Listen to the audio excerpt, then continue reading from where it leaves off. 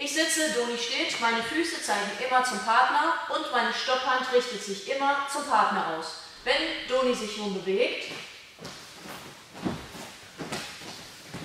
drehe ich mich immer mit ihm. Außerdem rufe ich dazu.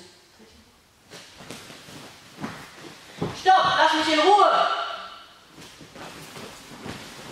Stopp!